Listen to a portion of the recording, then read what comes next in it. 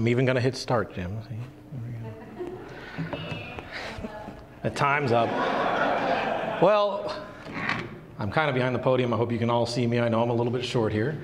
Uh, thank you all for coming out today, and I'm very excited to talk to you all about preliminary fossil discoveries at Comb Ridge, Utah. You probably have heard of Comb Ridge. It's a very popular hiking destination. It's not necessarily known for its paleontological resources yet. There have been some, some work done there, but it's mainly known across the United States, not just Utah, for its amazing hiking, and also there's lots of Native American cultural remains down there.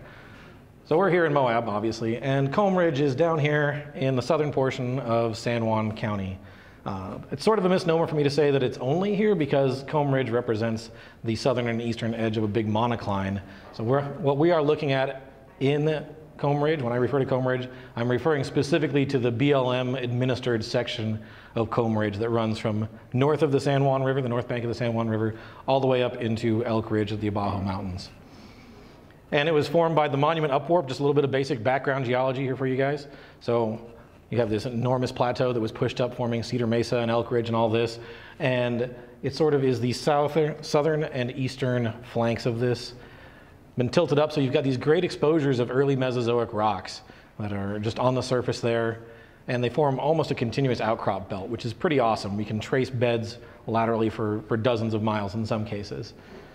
Uh, the two main formations that we've been looking at have been the Chinle Formation and the Kayenta Formation. The Moenkopi Formation is exposed there, and we found some trace fossils, but that's not the focus of this, and we haven't found anything in the Kayenta Formation yet. Body fossils and tracks are known from the Navajo sandstone, which forms the upper portion of Comb Ridge, but that has been worked on by other folks, and that is also not the uh, topic of my talk here. So this is what Comb Ridge looks like. I think it's relatively pretty as outcrops go. It's not too bad. And when we're looking at the Chinle Formation, we have two members represented there. The lower member is the Monitor Butte member. It's dark, it's a grayish, bluish mudstone. Seems to be deposited in a very low energy environment. We have lots of carbonized plant remains we find in some of our localities, indicating you had water sort of sitting there and stuff settling out.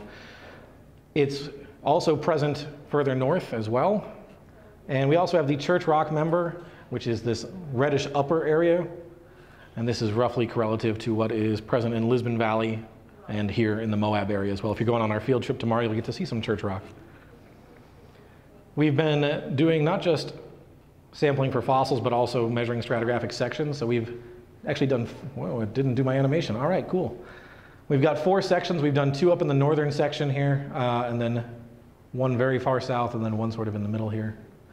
And we are finding that in the northern portion of Comb Ridge, we have a large sandstone that I'll come back to here in a second that isn't present elsewhere at Comb Ridge. So this is a unique rock unit for Comb Ridge. So here's our, our four measured columns.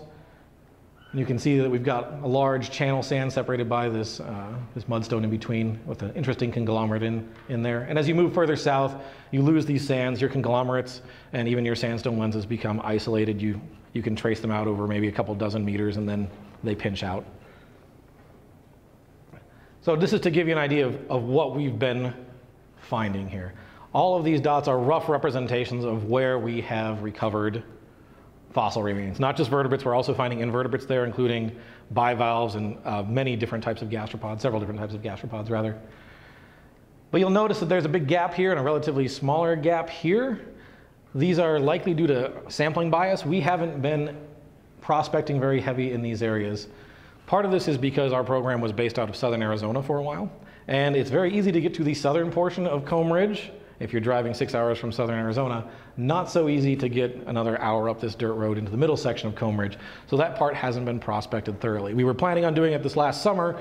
Unfortunately, we were trapped in camp for about a week by a flash flood, and we couldn't really go anywhere. So we sampled near our camp and ended up with more localities.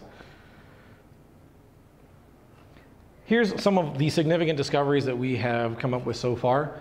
Uh, the first occurrence of Crosbysaurus in Utah, one of my former students, high school student, and myself published on this last year in 2015. And we've got now more specimens of this Crosbysaurus. At first we just had one tooth, partial tooth crown. Now we've got one complete tooth crown and several other additional partial tooth, teeth crowns that I'll show you here.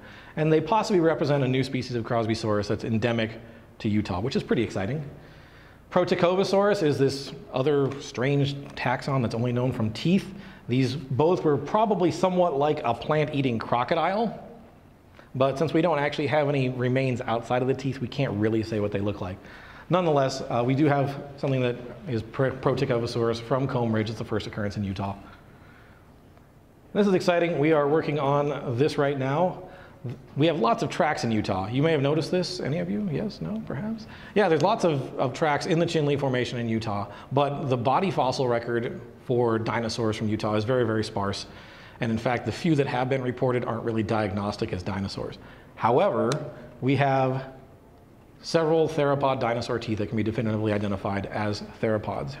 So um, one of my former students and a couple other folks here in the room, Andrew and John, we're working on a manuscript right now describing these and revising the Triassic dinosaur record from Utah. And as far as I've been able to determine, and if someone has other information, please let me know, in the Chinle Formation, I'm not aware of another published locality that has this diversity of, of taxa. There are other places in the Chinle Formation and in the Dockum group over in Texas and eastern New Mexico where you have a, a large variety of, of, different taxa present. But in Utah, the microfossil sites seem to be somewhat more limited, at least from the published record.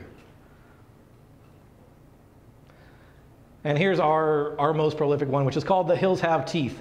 And this is a reconstruction done by Edita Felsin. I believe that's how you pronounce her name. I'm awful with it. And this sort of shows what we think our locality at Comb Ridge was looking like. You have these big phytosaurs. We find lots of phytosaur shed teeth. We have a couple uh, pieces of phytosaur dermal armor here, these big plates on the back, right? But we also have things like these metoposaurs. We have several temnospondyl teeth and a couple temnospondyl chest pieces that we've got from this locality. All these dead plants you see here floating on, on the water a couple different types of, of fish down in here. We've got bony fish as well as elasmobranchs. And then we've got our plant-eating crocodile friends here, a couple different types.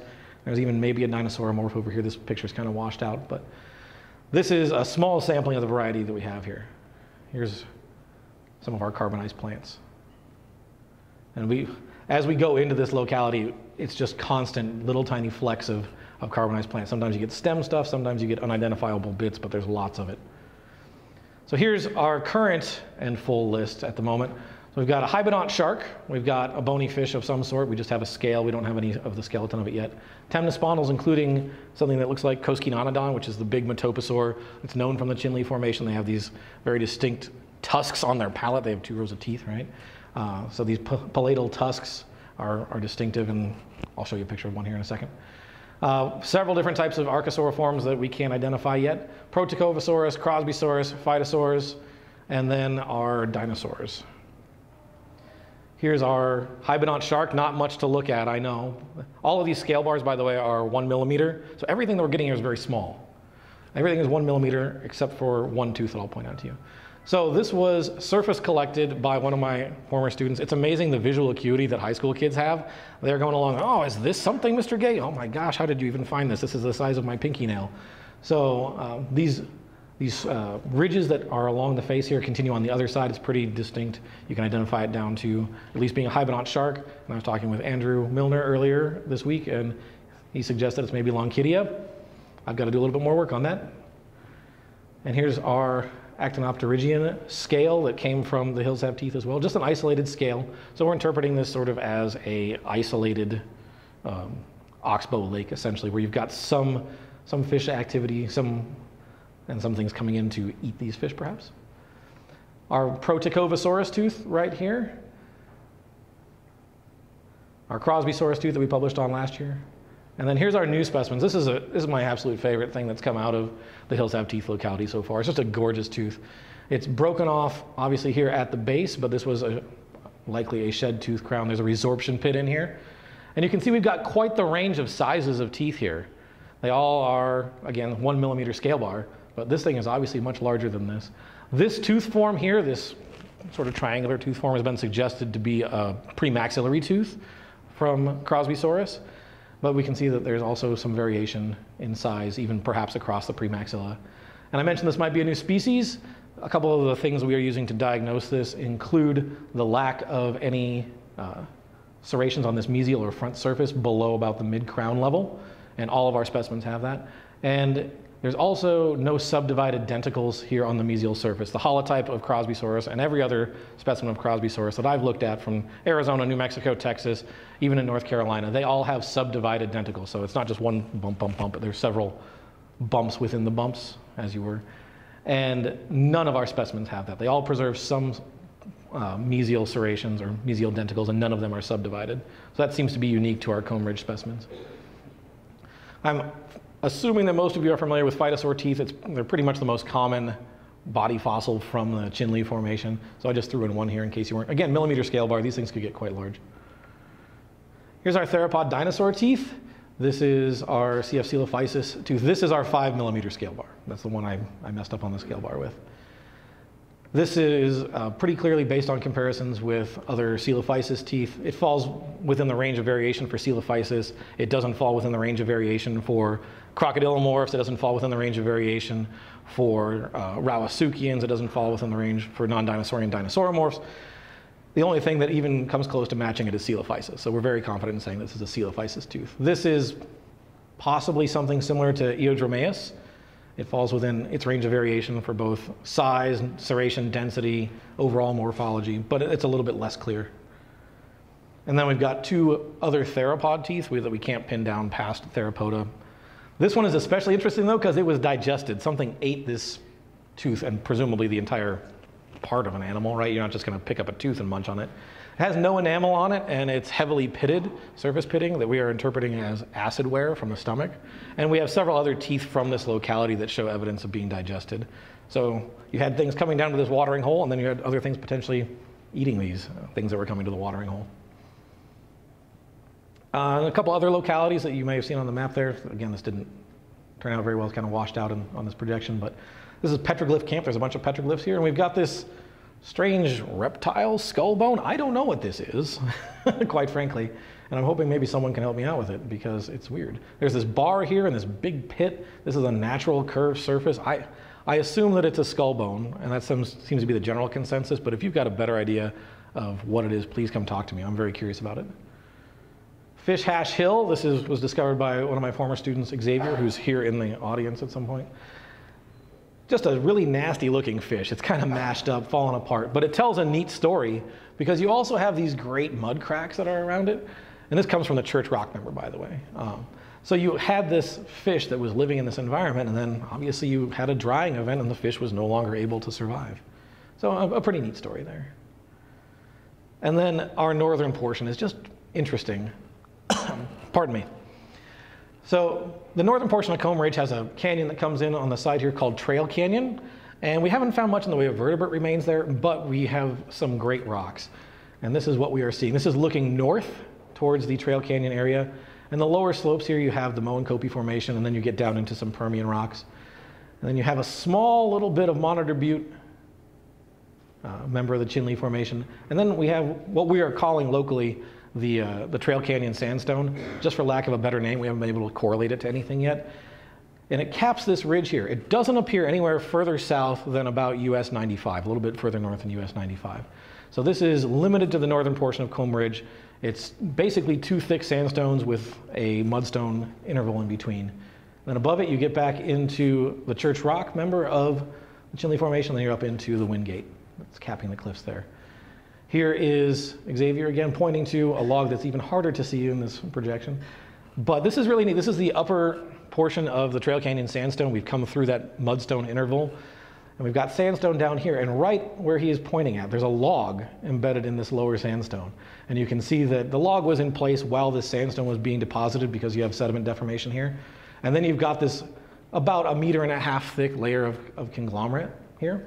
And it's just stripped off part of the log. So you have this very intense, high flow, high energy environment very briefly, and then it transitions back into this sand. So we're interpreting this probably as a, a flood event here down a normal river channel that was pre-existing. And on the upper surface of the Trail Canyon sandstone, we've got some nice ripple marks so we can reconstruct flow direction. This would be a river system that was flowing towards the northwest, which generally matches up with other uh, flow reconstructions for the Chinle Formation in this area of Utah. And you can see that it pinches out that this is a student that's a meter and a half tall, maybe. And you can see that this sandstone is not not even as tall as her. This is the same bed. You can walk this bed back up to that carp site that we had where you had a, a meter and a half thick conglomerate in the middle of a tens of meter thick sandstone. So it pinches out very rapidly towards the south. And you can see that here. Here's our closer in views of our stratigraphic sections. This lower sandstone is just pinching out, and the upper section is also pinching out. We, we haven't measured the upper portion in the far north yet, but you can still see that there's a definite decline going down since we can actually get to the top of it here. It's pretty neat. There's lots of plant hash in this conglomerate area. There's lots of logs in this, uh, the base of the upper sandstone as you move further south. But no vertebrate fossils yet, not too surprising considering the high energy. We're hoping that we can find some conglomerates and get some, uh, some decent preservation there. Those of you that are familiar with the Chinle Formation here, you may know that the conglomerates, the black ledge, the red ledge beds tend to preserve some pretty nice stuff. And we do have some conglomerates, so hopefully we'll be able to add in a few animals in here as well besides our plants. It's possible that this Trail Canyon sandstone represents this bed here, which is this lower, uh, lower sandstone conglomerate, which is the Shinarump. It's also present here near Moab. One of the things we hope to do this summer is go out and try to make these correlations a little bit more explicit instead of thinking, well, maybe it works. This is the Indian Creek area, Bridger Jack Mesa. Future work, this slide's not going to work because it had animations. So our future work, our main goal is to prospect this area here. This is the largest gap we have remaining, and we'd really like to fill in some of these blanks. Essentially, every outcrop we've been out to, we find stuff. So it's just a matter of filling in these, these blanks here. Need to do more work up at Trail Canyon.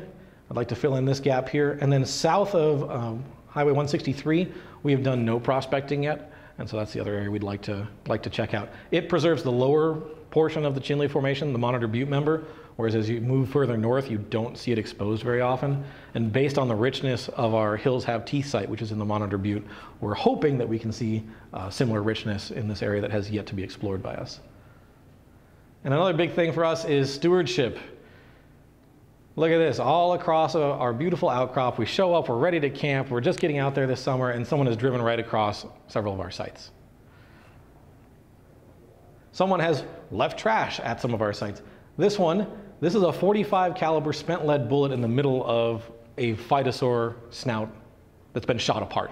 So someone literally tried to kill a phytosaur. They should have known it was dead. It was too late. Maybe they were putting it out of its misery.